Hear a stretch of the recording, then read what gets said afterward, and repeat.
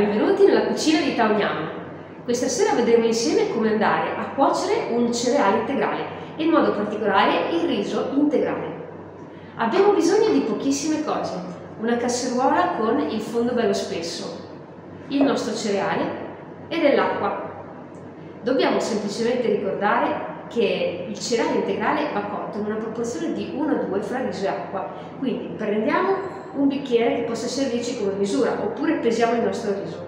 Andiamo a mettere il nostro riso lavato sotto l'acqua corrente all'interno della casseruola e poi andiamo a appoggiare due parti di acqua all'interno del riso. Uno, e quindi versiamo all'interno, e due. Uno a due, questa è la cottura di cui abbiamo bisogno non faremo altro che andare a mettere il nostro riso a freddo insieme all'acqua fredda sulla piastra. Io qui ho una piastra induzione, benissimo il fornello a casa con la fiamma e portiamo il nostro riso a bollore.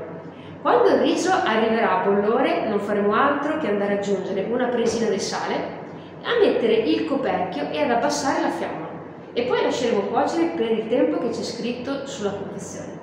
Al termine di questo tempo avremo il nostro riso perfettamente cotto per assorbimento, quindi ancora integro di tutte quelle sostanze e micronutrienti importanti che fanno del riso integrale uno degli alimenti più importanti per la nostra salute. Grazie a tutti. Benvenuti, bentrovati, nuovo appuntamento con uh, Tutto Bene TV, la nostra puntata numero 327 e da questo primo minuto avete, abbiamo già eh, intuito quello che è un po' il contenuto di questa nostra puntata che dedichiamo appunto al cibo con degli aspetti molto particolari che andiamo ad indagare grazie all'ospite in studio che ringraziamo per aver accettato il nostro invito. Diamo quindi il benvenuto a Monia eh, Talenti, biologa nutrizionista, terapista alimentare, facente parte anche del gruppo La Grande Via di Franco Berrino. Benvenuta, bentrovata e grazie di aver accettato l'invito. Buongiorno Roberto, grazie a te per questo invito. Un piacere davvero. Allora, in quel eh, minuto eh, di apertura della nostra trasmissione, eh, le domande più banali, dov'eri, cosa stavi, cosa stavi facendo, cosa ci vuoi raccontare? Beh, mi hai visto all'opera nella cucina di Taonyam, che è il centro a Forlì, dove svolgo la mia professione e nella quale cerco di insegnare a quante più persone possibili uno stile di vita consono diciamo, a, ad una buona prevenzione, quindi a mangiare bene ma soprattutto anche a cucinare. Perché no, sappiamo tanto magari per quanto riguarda la teoria dell'alimentazione sana, ma non sempre riusciamo poi a mettere in pratica alcuni aspetti che ci portano a, a creare dei piatti gustosi e dei piatti buoni, appetibili a tutti, anche ai nostri bambini, eh, proprio attraverso la messa in pratica. No? Mangiare bene, scegliere gli alimenti giusti e poi cucinarli. Questo è un po' il progetto di Taonyam e quello della mia professione. Ci sono dei pubblici particolari a cui ti rivolgi? Beh, sicuramente sai che tutti mangiamo, quindi mi, mi rivolgo a tutti. E è un lavoro che mi piace molto quando ha a che fare con la prevenzione e quindi mi piace tanto insegnare alle mamme, per esempio, mi piace tanto insegnare alle casalinghe, eh, perché sono le donne ancora che nella maggior parte dei casi hanno certo. in mano poi la scelta degli alimenti e anche la preparazione però poi eh, ci occupiamo anche di pazienti che in qualche modo hanno già incontrato un problema di salute e quindi in particolare mi occupo di pazienti oncologici, ma anche di tante altre patologie che hanno tutte in qualche modo a che fare con l'alimentazione, quindi eh, malattie autoimmuni, problemi cardiovascolari, problemi di obesità, problemi di diabete. Sono tutte patologie che sicuramente con una sana alimentazione eh, hanno la possibilità veramente di evolvere eh, in maniera positiva.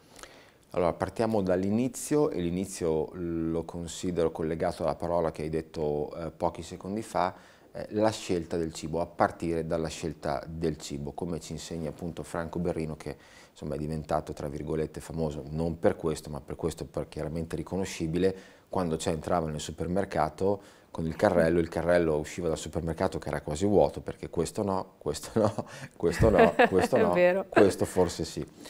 Eh, analisi comunque interessante se consideriamo statisticamente che cento anni fa l'80-90% dei cibi che oggi compriamo e consumiamo non esisteva, quindi è tutto prodotto eh, in gran parte industriale, raffinato, lavorato eh, in cui, come ci hanno spiegato alcuni esperti di etichetta già presenti in trasmissioni passate, eh, quando un uh, elemento eh, contenuto in un alimento va eliminato perché diventa fuori legge, a volte è sufficiente cambiarne la denominazione. Certo. Partiamo allora proprio con questa berrignana memoria, cioè dalla scelta del cibo, perché poi alla fine cuciniamo quello che abbiamo in casa, quindi dobbiamo essere bravi okay. a far entrare alcune cose e altre no. Guarda, eh, è il primo punto, esattamente. No? A me viene da dare dei consigli molto pratici per chi va a fare la spesa. Allora, innanzitutto, così come consumatrice, mi viene da pensare che dobbiamo andare a fare la spesa a stomaco pieno, okay. perché questo ci aiuta molto a essere un pochino più lucidi, no? a non comprare delle cose magari in maniera compulsiva.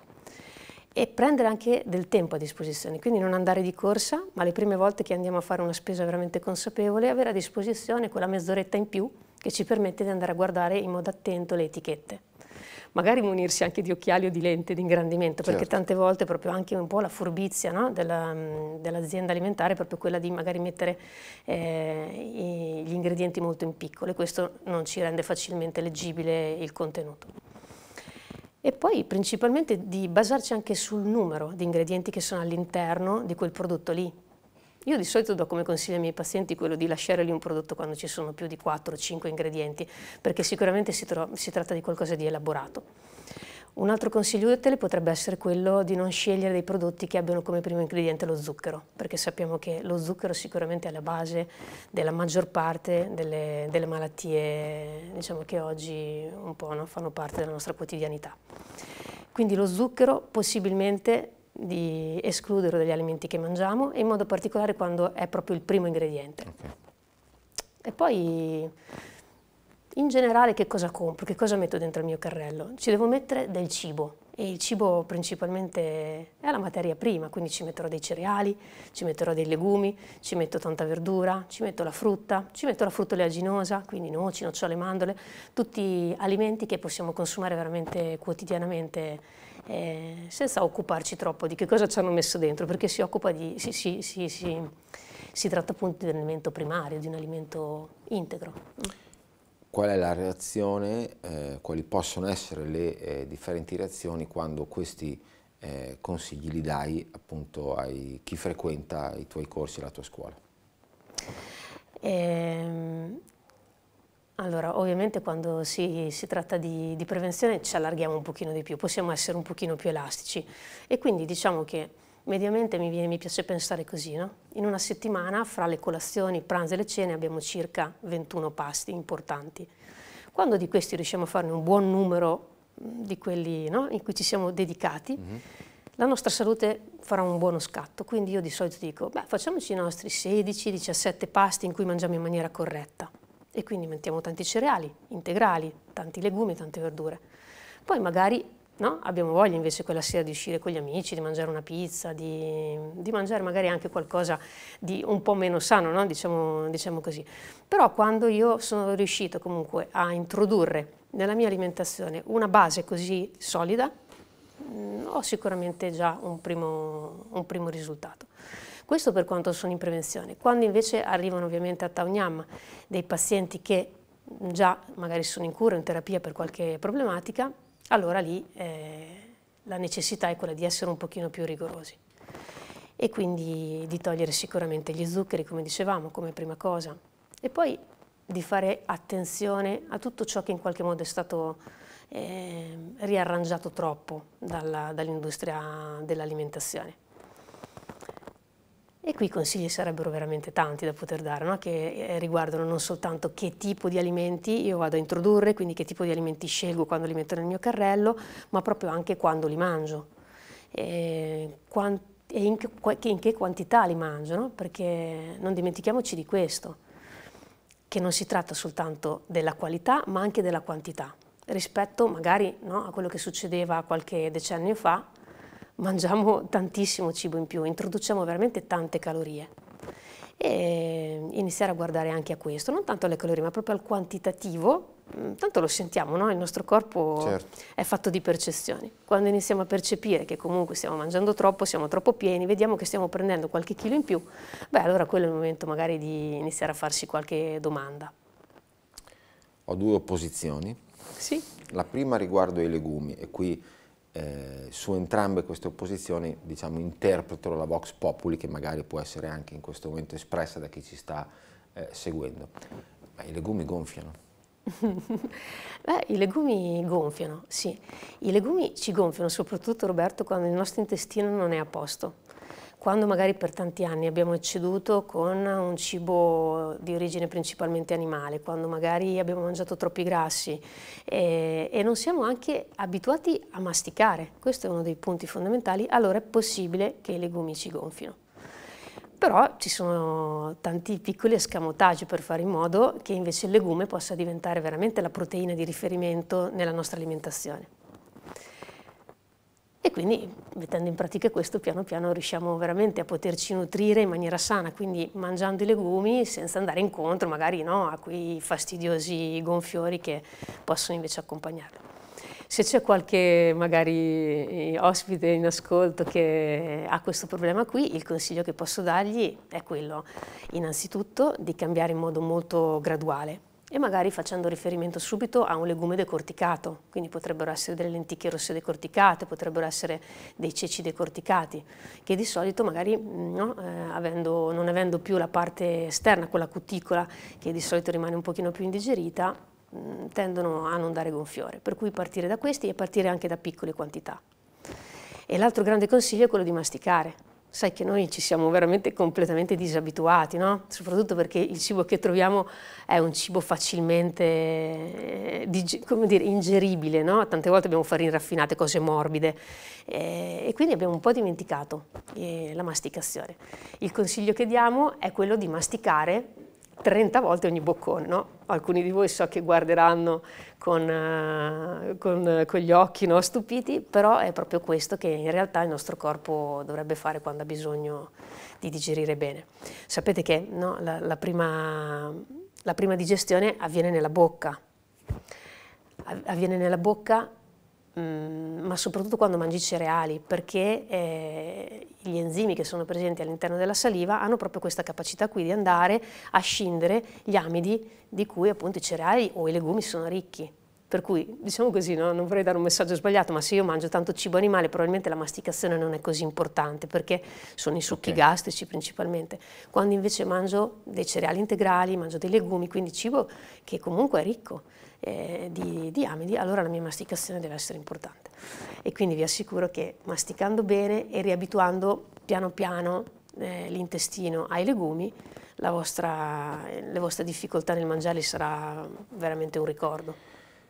Eh, masticare eh, in velocità eh, mi fa aprire una parentesi proprio su questo tema, cioè quello della velocità. Da un lato noi siamo più abituati per la tipologia di cibi che appunto è più semplice trovare e acquistare, quindi consumare, eh, dall'altro siamo sempre anche portati molto alla velocità quando eh, ad esempio, che so, si arriva magari eh, tardi la sera a casa e si ha fame, eh, tanta troppa, oppure anche durante il giorno quando si usa il pasto come un celerissimo intermezzo tra il resto della giornata eh, di lavoro. Forse anche questo può essere diventato insomma, un, un limite nella nostra alimentazione. Sì, è vero, eh, qui si aprono veramente tanti aspetti. No? Eh, prima di tutto anche la nostra predisposizione, quindi come io devo predispormi ad un pasto. Lo devo fare sempre nella massima tranquillità, lo devo fare anche nella giusta attitudine, no? perché vado a, a, coprire tanti corpi, non soltanto le necessità più fisiche con cui il cibo mi alimenta, ma anche no, la parte più emozionale, la parte energetica e quindi questo riesco a completarle, a saziarle se io mi predispongo innanzitutto con grande gratitudine, perché non diamo per scontato no? mm. che per noi ormai il cibo è una cosa scontata, ma probabilmente per tante popolazioni ancora non lo è e non l'è stato neanche per noi fino a pochi decenni fa. Certo. Quindi la gratitudine e porsi in questo modo già è un buon risultato, mettersi tranquilli Iniziare quindi a masticare, come dicevamo, in maniera lenta, magari 30 volte. Questo ci dà modo anche di mangiare meno cibo, quindi di non mangiare più di quello di cui abbiamo bisogno. No? Sapete che c'è un ormone, la grammelina, che si, si viene appunto a, a, liberare quando piano piano noi mangiamo e il nostro stomaco si riempie. Questo è un ormone che ci dà proprio il senso di sazietà, quindi ci permette anche di controllare eh, il cibo che ingeriamo e quindi anche il nostro peso. E l'altro aspetto invece secondo me riguarda proprio quello dell'organizzazione. Quindi quando è che in maniera compulsiva apro il frigorifero e mangio quello che, c'è a caso? Quando non sono riuscita diciamo, ad organizzarmi e quindi a prendere in maniera seria il cibo, come, come deve essere, non giocosa ma seria, nel senso no, quello che io mangio diventa parte di, del mio corpo, di quello che io sono. E quindi è molto importante che magari non solo facciamo la spesa bene, ma magari teniamo sempre pronto qualcosa nel frigorifero, magari un, uh, un, cereale integrale già cotto, magari un legume, magari delle verdure, che mi permettono nel, nel momento in cui arrivo bello affamato, magari pensiamo anche ai nostri bambini, no? quando arrivano è ora di far merenda, qualcosa che sia già pronto e che possa aiutarti a mangiare quindi in maniera corretta. Non dimentico la seconda opposizione, che è tutte le cose buone fanno male. Su questo non sono d'accordo. Fortuna. non sono d'accordo perché veramente abbiamo a disposizione una bontà di cibi veramente grande. Si tratta, secondo me, ecco, di mangiare ascoltando quello che stiamo assaporando e poi anche forse un po' di ripulire il palato. No? È vero che quando mangiamo tante cose confezionate è un po', sai, mi, mi fa venire in mente no, i miei gatti che, a cui piacciono soltanto determinati tipi di cibo dopo un po' che glieli do, no? perché si abituano a quel sapore okay. lì. No? E per noi è un po' la stessa cosa, ci abituiamo a dei sapori troppo dolci, sai che eh, l'industria alimentare per fare in modo che questi prodotti siano così appetibili ci mette dentro un sacco di zucchero e un sacco di sale. Mm e sono cose che alla lunga ovviamente portano dello scompenso, un disequilibrio nel mio corpo. Quindi cosa devo fare? Iniziare a riappropriarmi un po' di quello che è il gusto naturale. No? È come quando io mi metto so, in una stanza dove c'è un rumore altissimo, no? e questa è un po' la percezione dello zucchero, poi faccio fatica, no? quando esco da, quella, da, quel rumore così forte faccio fatica a riabituarmi a, al silenzio. È un po' la stessa cosa anche con lo zucchero, quindi riabituiamoci piano piano a quelli che sono i sapori veri del cibo eh, c'è la, la, bellezza no? quando riscopriamo come alcune frutte, alcuni tipi di frutta, alcuni tipi di verdura siano così tanto dolci. Tante volte addirittura diventa quasi eccessivo quel dolce lì. No? Mm, in questo periodo per esempio abbiamo la zucca, no? senti quando te la gusti, quando vai veramente a assaporarla fino in fondo, mm, qual è la, il godimento anche del corpo. Però quando riesco a fare questo?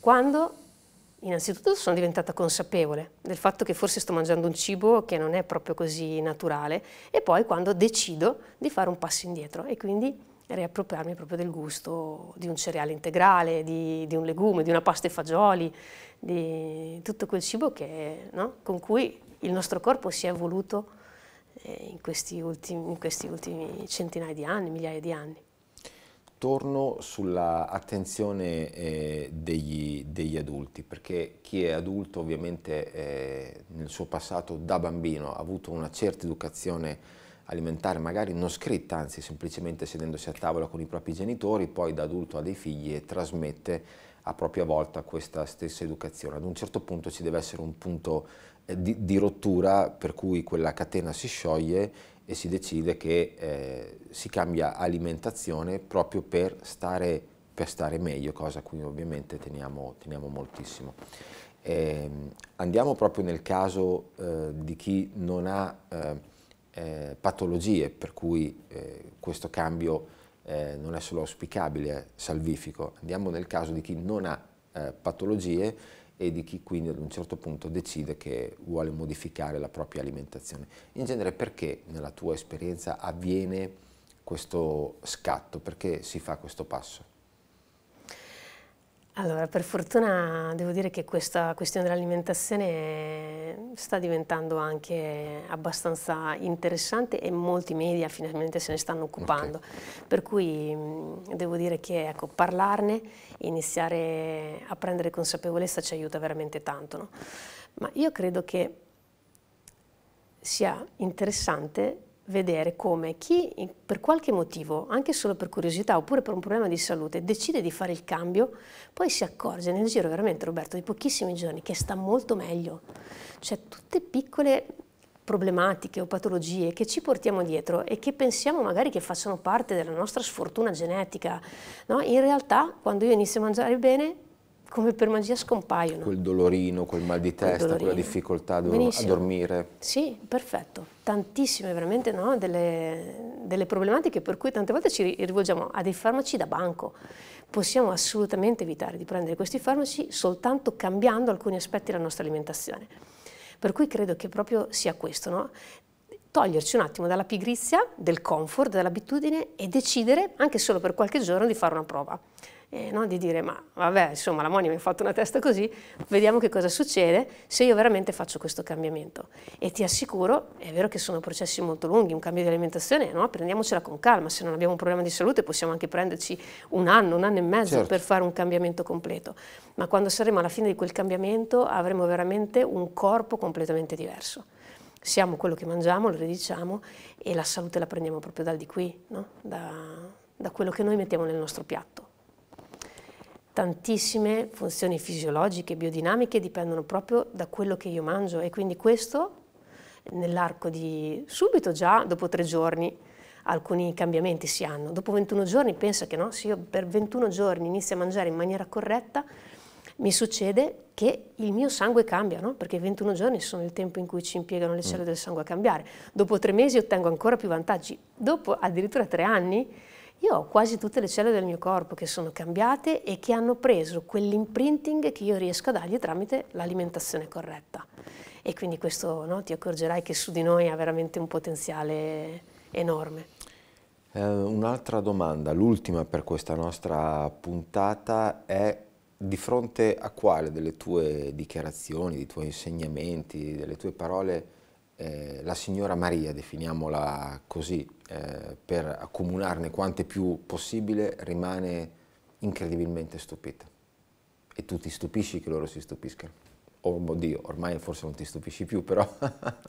Beh, innanzitutto che si può veramente portare a tavola un piatto completamente senza cibo animale. Eh, è un po' come se fossimo talmente abituati che il cibo animale è qualcosa che abbiamo a disposizione, che possiamo mangiare tutti i giorni, che non ci rendiamo neanche conto che quello è veramente un eccesso. E, e quindi insegnare a questa signora Maria come invece poter preparare per la propria famiglia un piatto gustoso, eh, saporito e sano senza dentro nessun tipo di cibo animale, anche soltanto qualche volta a settimana, per fare in modo che il nostro corpo veramente si possa finalmente riposare, per me è qualcosa no? che mi sorprende ma allo stesso tempo mi gratifica molto. Possiamo veramente fare tanto e possiamo fare tanto partendo dalla tavola, partendo da questo desiderio di fare qualcosa di nuovo per noi stessi. Ci vogliamo bene e quindi no, dimostriamo a noi stessi quanto possiamo possiamo cambiare cambiando le nostre abitudini alimentari, in positivo ovviamente. Allora, il tempo per questa nostra puntata è giunto al termine, ma vorrei parlare però ancora sia del cibo eh, come medicina per diverse eh, patologie, sia anche dell'aspetto del digiuno che in questi ultimi anni è andato agli onori delle cronache anche in più eh, di un'occasione. Quindi se sei d'accordo dedicheremo a questo tema la nostra prossima puntata. Assolutamente, sono due temi veramente interessanti per cui bene, sarò lieta. Grazie allora a Monia Talenti, biologa nutrizionista, terapista alimentare del gruppo La Grande Via di Franco Berrino, che avremo quindi con noi anche per quel che riguarda la prossima puntata. Grazie a voi per averci seguito l'appuntamento come sempre alla prossima settimana.